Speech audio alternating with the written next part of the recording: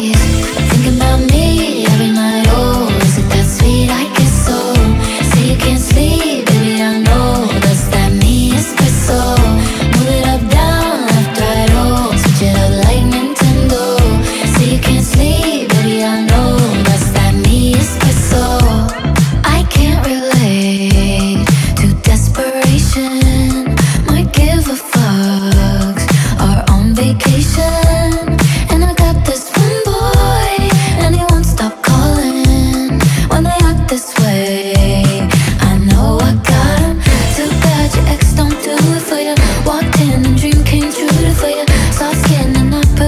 for you